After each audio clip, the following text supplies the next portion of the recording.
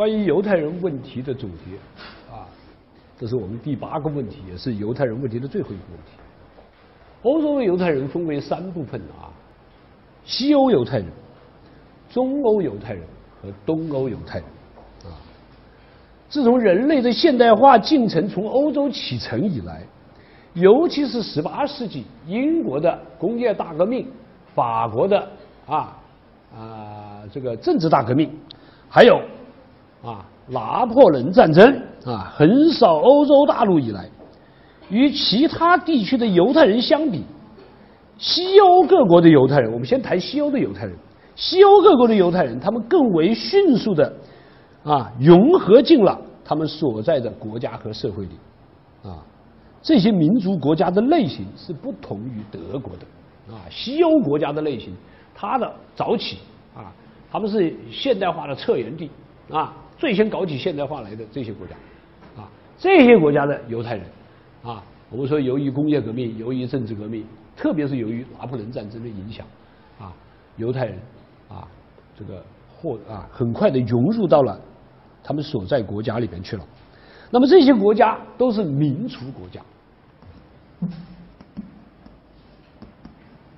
但是这个民，他们这些民族国家啊，和德国的类型是不太一样的啊。他们信奉的民族主义啊，是一种。政治民族主义，啊，政治民族主义，啊，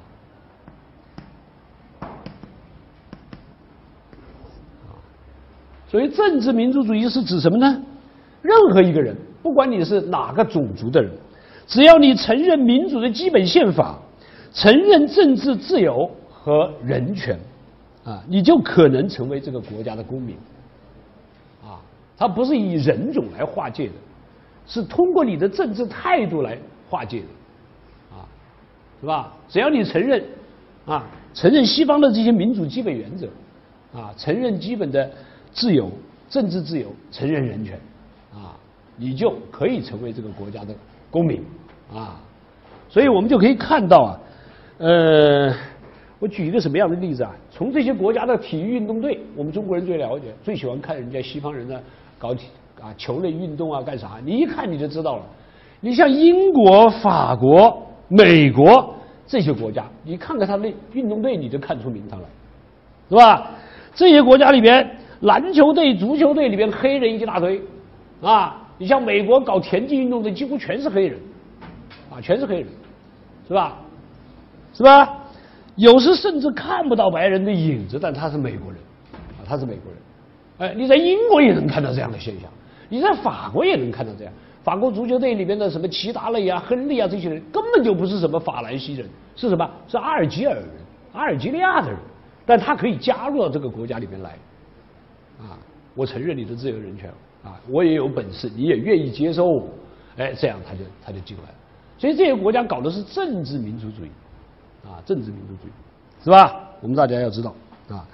但是你看看德国的运动队，一定是清一色的青啊，金发碧眼，哎，是吧？我们呃原来有有有一个呃最近这两年有一个有一个年轻的小小伙子当德国的足足球中锋的那个人是从波兰来的，但他家里原来是日耳曼血统，啊，他是有日耳曼血统的，好哎，他是按人种来的，所以德国的足球队里面看不到黑人，啊，他不接受，啊。为什么呢？啊，因为啊，德国人他们信奉的民族主义啊，不是政治民族主义，而是文化民族主义。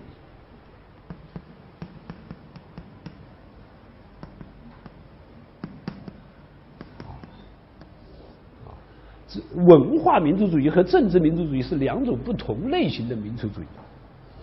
文化民族主义与政治民族主义有着重大的区别。文化民族主义啊。是在政治统一没有办法实现的情况下的一种啊民族主义，啊政治统一没有办法实现，这个民族主义生长出来的时候，形成的时候啊，它的政治统一没有完成，这样的国家就搞啊要搞爱国主义，要搞最后发展到民族主义啊，它就是谈文化的啊谈文化的。实际上我严格的说啊，我们今天中国搞的也是文化民族主义。啊，也是这个东西。因为我们中国的大陆和台湾啊没有实现政治统一，不在一个共同的政治语言下啊，所以你看看这个中国的这个春晚，你就可以看出嘛名堂来。谈什么呢？谈我们我们都有一个家，名字叫中国啊，哎，这在谈啥？这个中国指的是啥？不是政治啊，是指的文化啊，是指的文化啊。所以你要你要你要弹奏的是文化这根弦啊。为什么呢？中央电视台《天涯共此时》也是谈文化的啊，也是谈文化的，是吧？谈的也都是什么？我们都用筷子吃饭呐啊，什么？我们都写方块字啊。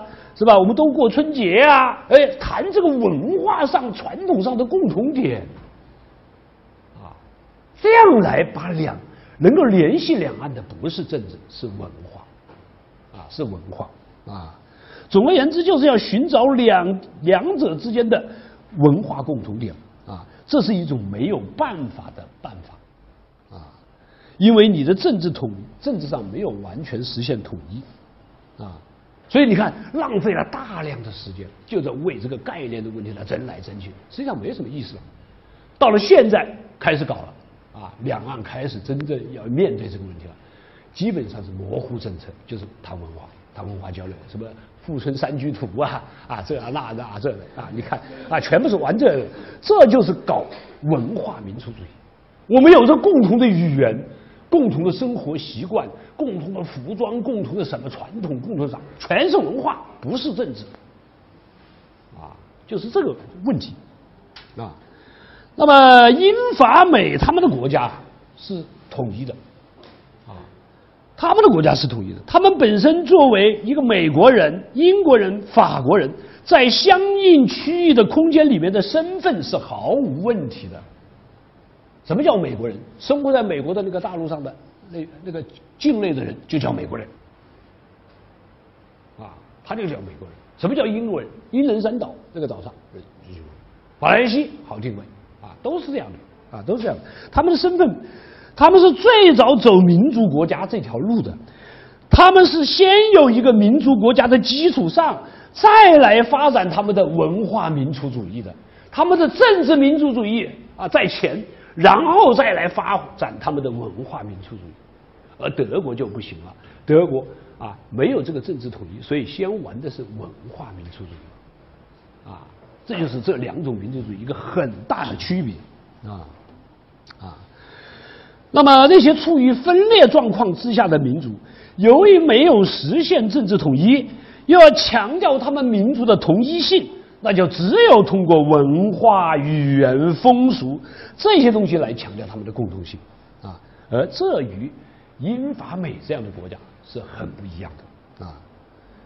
由于自由、平等、博爱这样的法国大革命精神，还有拿破仑法典，在西欧社会里边贯彻的比较彻底，所以一旦这些国家宣布宗教自由、信仰自由。那么信仰犹太教和信仰基督教的人也就没有什么高低之分啊。那么一名犹太徒也就完全可能在这个国家里面成为一个政府的官员啊，这是毫无问题的啊。不是说这些国家里面后来没有反犹的，也有，比如说法国就出现了德雷福斯案件。但是我们看看德雷福斯案件出来的时候。德国这个法国的整个社会的精英团体是站在反对的面上的，连大文豪们都坚决反对啊，这个事情是这样平息下去的。所以这些国家它有反犹的倾向，但是呢，占主流的人们思想意识观念上不是像德国那样的啊，是吧？德国人就是完全是熟悉这个口号和保持沉默，或者是怎么样，或者是助纣为虐。这些国家有这样的事情，马上就要反击的啊。那所以我们说，西欧各国的犹太人，他们能够更为迅速的融入他们所在的国家和社会，而且他们具有规模小、根基牢、经济上富裕的这样一些特点。啊，犹太人在在西欧啊、英法也是很富的啊，规模比较小，根基比较牢啊，在政治上啊、法律上都有特定的地位啊啊。另外一伙我们要谈，还有个犹太人，就叫做东欧犹太人。我们刚刚谈了啊，东呃西欧犹太人、东欧犹太人，东欧犹太人不一样，为什么呢？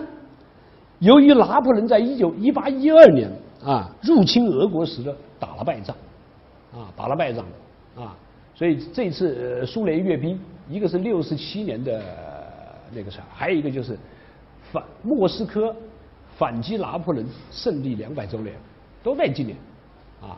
两百年前的这个时候，啊，拿破仑的部队冲进了莫斯科。我们看过《战争与和平》，我们就知道，呃，俄罗斯人用焚烧这个城市的办法来迎接拿破仑。所以拿破仑到了最后的话，粮草都没有了。最后啊，整个大军全面崩溃啊啊！俄罗斯这个民族还是有他有他的狠气啊，这个这个是蛮了不起的。连首都我都烧掉，烧掉以后再扯出来，我我就就就是不投降啊，就是这样的啊。所以，由于拿破仑打了败仗，所以啊，东欧社会仍然保持了一个传统的专制社会的这样一个模式啊。拿破仑法典在俄罗斯这个土地上一点影响都没有啊，或者说只受到了这场西方现代化浪潮很少的波及，甚至完全没有受到波及。所以，东欧各国的犹太人在沙皇时代啊。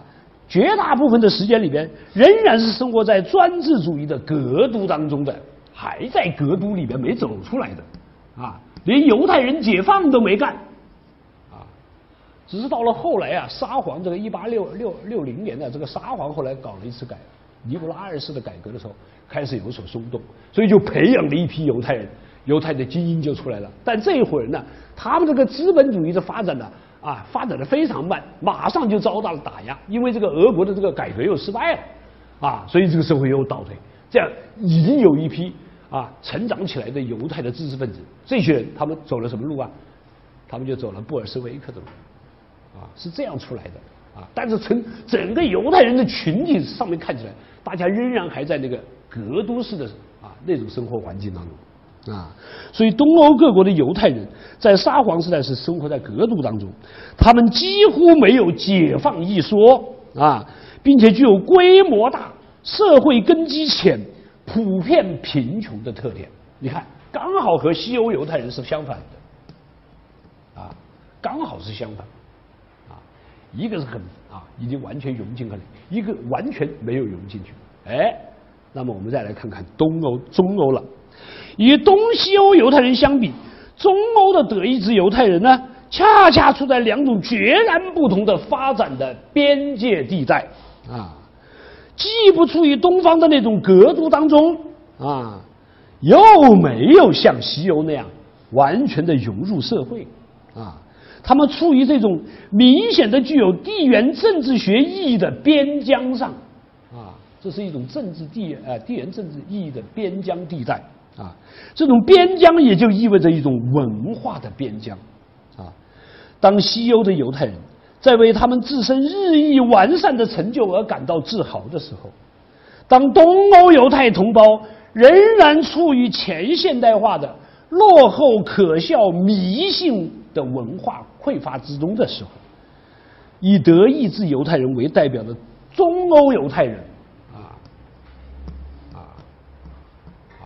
中欧犹太人，我们德意志犹太人就是中欧犹太人啊。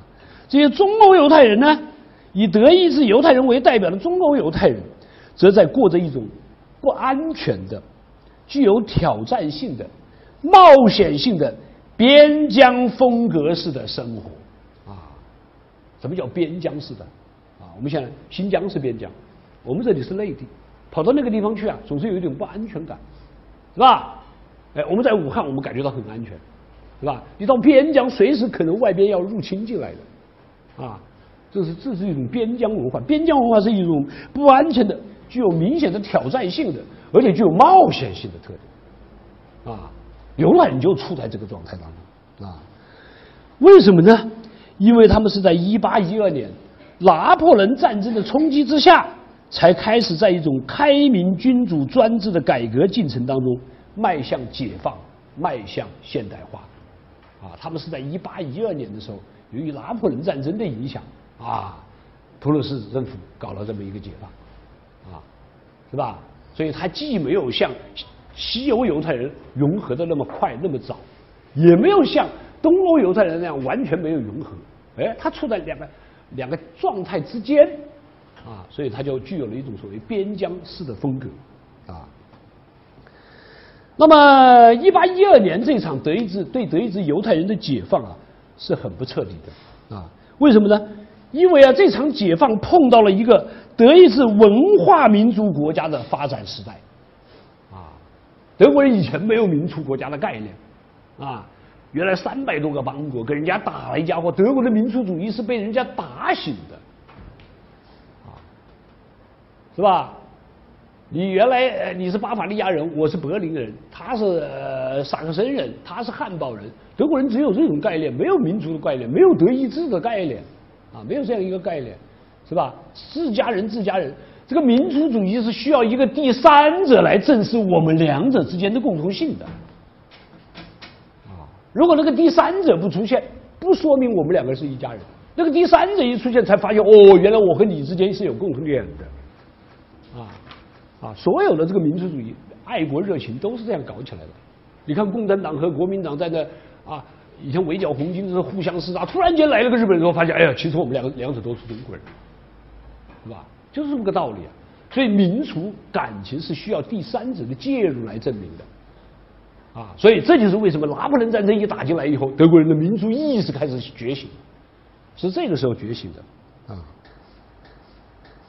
但是这个时代啊。我们说啊，它是一个德国人要创造自己的文化民族统一国家的时代。普鲁士官僚改革派，他们对犹太人开出了这样的解放条件，那就是要你们要犹太人要在消解自身民族性的情况下来适应这个德意志的市民社会啊。你要想与德意志文化同化吧，是吧？那很简单呐，是吧？你就要先消解你的犹太民族文化。啊，正如我们前面所讲到的，你要取一个热卖人的名字，是吧？不管你怎么取，你要到户口登记处去登记。你进入到德意志社会里面和别人打交道的时候，是不能够用希伯来语了，要用德语，啊，是吧？否则你就融不进去，是不是？是吧？而且你不改变宗教信仰，是吧？我就不让你做国家的公务员，是不是？是吧？这些规定啊，在西欧是没有的，啊，西欧是没有这样的规定的，是吧？而在德国，绝是顺理成章的事情，啊，因此，德国的犹太人只有个体性的走出格都，并同化于这个市民社会的机会，啊，你能不能同化，那在于你自己个人的能力，啊，是不是？啊而不是你自己混得好，你就混进了市民社会，啊。那么在西欧不是的啊，西欧就是一纸命令下来，今天法律宣布我们要解放犹太人，所有的人说全部都平等了，哎，一句话就解决了，是吧？哎，那么一次性的、集体性的获得解放的是西欧的犹太人，而德意志犹太人由于有这样的一些限制，那样一些限制，那就看你的个体有本事还是没本事了啊。在现代化先行者美国和英国。那里，现代化是摸索着向前走的，啊，英法美这些国家，他们是现代化的首创国，或者说啊啊起源国家，啊现代化的来源国家，他们最先开始搞现代化，是吧？但是他们当初在搞现代化的时候，不知道自己搞的是现代化。我们原来讲过这个问题，是吧？他们是摸索着向前走的，是这样的一个过程，是吧？并不知道他下一步要走到哪里去的。不过，在德国的土地上，这场施泰因哈登堡的改革开始了德国的现代化的进程，啊，使得现代化第一次获得了它自觉的目标明确的进程，啊，德国的现代化是自觉的，是目标明确的进程，啊，他从一开始就意识到他要达到的目标，啊，他是模仿别人，啊，看到了这个目标，啊，是吧？指引他们的。也是经过公开讨论和刻意选择的战略啊，因此，德国的现代化是一种什么呢？啊，是一种赶超型的现代化，啊，是吧？我们要现代化，我们要比别人更快，我们才能追上人家。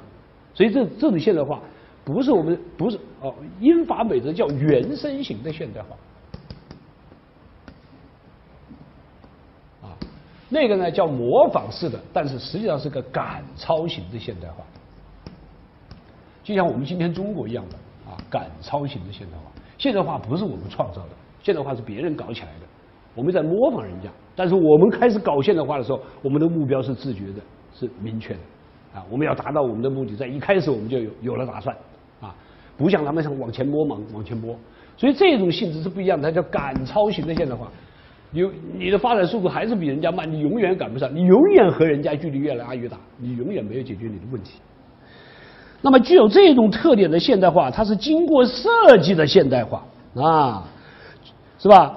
这种经过设计的现代化的特点，自然会在德意志犹太人的现代化经历当中找到生动自觉的反应啊。在一九四五年以前的一百三十多年的时间里边啊，德意志犹太人他们的经历和命运，恰恰最能反映。德意志现代化的经历和命运，啊，无论这条现代化的道路是顺利的向前推进呢，还是面临危机而受挫，啊，都一定会在犹太人的身上找到具体的体现，啊，你就看犹太人，一看你就知道德国的现代化顺利还是不顺利，啊，是吧？德国的现代化是在向前推进，还是遭遇了倒退？啊，一看犹太人就能看得出来。我们来举几个例子啊。当德意志现经济现代化在十九世纪末获得了所谓跳跃式发展的时候，那正是德意志犹太人啊整体性的成为纳税阶层的时候啊，表明他富裕。德国的经济形势一好，犹太人百分之八十人都成为了纳税的阶级，是吧？